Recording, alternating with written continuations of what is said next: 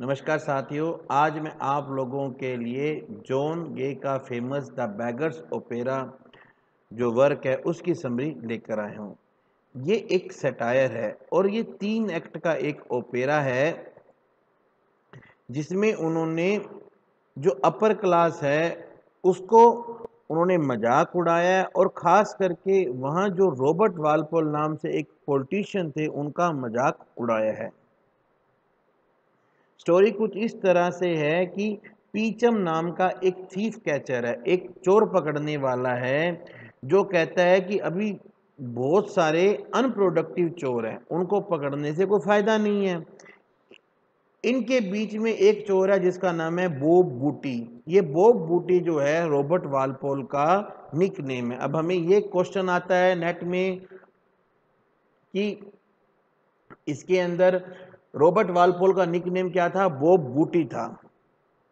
पीचम और उनकी wife Mrs पीचम जो हैं, उन्हें पता चलता है कि उनकी बेटी जिसका नाम है पोली, उसने एक डाकू जिसका नाम है मैकियात उससे सीक्रेटली शादी कर ली है।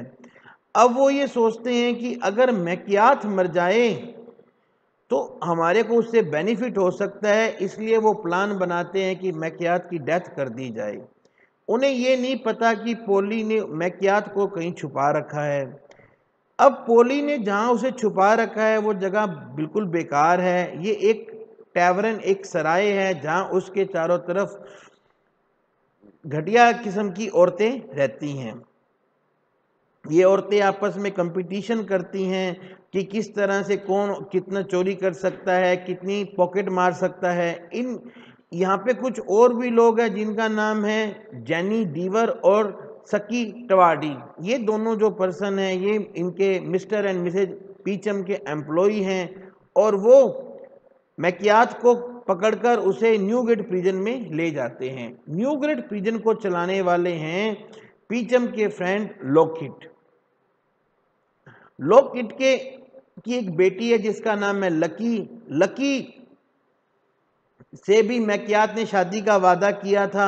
जब उसे पता चलता है कि मैकियात को पकड़कर जेल में डाला गया है तो वो कहती इसे तो खूब सजा दी जाए, क्योंकि इसने अपना वादा तोड़ दिया और पोली से शादी कर ली। मैकियात किसी तरह से उसे शांत करता है, पर तभी पोली को पता चलता है कि मैकियात को तो उस सराय से उठाकर न्यू ग्रेट प्रिजन में डाल दिया गया है वो वहाँ आती है और कहती है कि ये तो मेरा हस्बैंड है। मैं क्या इसका विरोध करके बताता है कि लकी ये पोली तो पागल है। इसलिए लकी कोशिश करती है कि मैं अपने पापा की चाबियाँ चुरा लूँ और इसे भगा दूँ।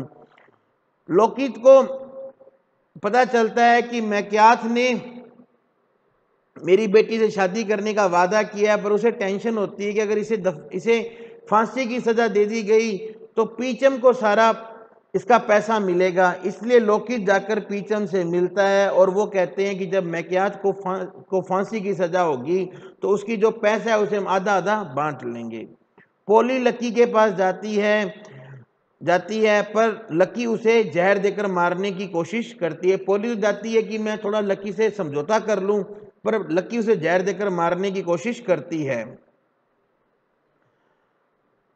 अब पोली को इस प्लान का पता चल जाता है और उनको ये भी पता चलता है कि जैसे ही मैक्यात भागा था, थोड़े दिन समय बाद उसे फिर पकड़ लिया गया। इस समय उसे एक एक शराबी औरत जिसका नाम है मिसेज डाइना ट्रेपस, वो उसे पकड़ लेती है। लकी और पोली अपने पापा अपने अपने पापा को रिक्वेस्ट करती हैं कि किसी तरह से मैक्यात को फांसी की सज़ा ना दी जाए। पर मैं क्या जिसका विरोध करता है, उसे कहता है कि यार ये यहाँ पे चार औरतें हैं जो मेरी वाइफ बनने के लिए क्लेम कर रही हैं। वो कहता है कि मुझे तो फांसी चढ़ा दो।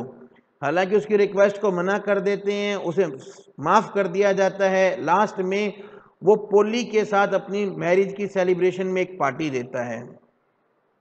ये एक सटायर है। एक सटायर इसमें मैं आपको बताता हूँ इक्वालिटी का। अब इन्होंने क्या किया? इन्होंने नोबल को, नोबल बड़े लोगों को, छोटे लोगों के साथ दिखाया और बताया कि वो भी उसी तरह से काम करते हैं। इस तरह गे ने ने एक आयरनी क्रिएट की, जिससे उसका सेटायर बना। एक एग्जांपल आप झूठ का देखिए। देखिए, यहाँ पे मैरिज शादी के ऊपर बेस नहीं है, बल्कि लस्ट के ऊपर बेस है। लस्ट चाहे वो मटेरियल है, चाहे वो फ़िज़िकल है। औरतों के लिए भी शादी में फ्रीडम है, या वो कहते हैं कि वो बिना बिना रेपुटेशन की शादी करना चाहती है। ये ने करंट पॉलिटिकल क्लाइमेट को को सटायर दिखाया है, जो जो इन्होंने क्लाइमेट जो करेक्टर दिखाया है, उन सबसे उन्होंने सटायर दिखाया इस तरह उन्होंने सजेस्ट किया है कि जो भी पॉलिटिक्स के अंदर आते हैं, वो अपने वर्च्यू या कैपेबिलिटी के कारण नहीं आते, बल्कि अपनी हाइपोक्रेसी दोगलेपन के कारण आते हैं। So I hope friends video आपको एग्ज़ाम में हेल्पफुल होगा। आपने अपना कीमती समय दिया, इसके लिए आपका बहुत बहुत धन्यवाद। आपका दिन शुभ हो। May God bless you thank you very much have a good day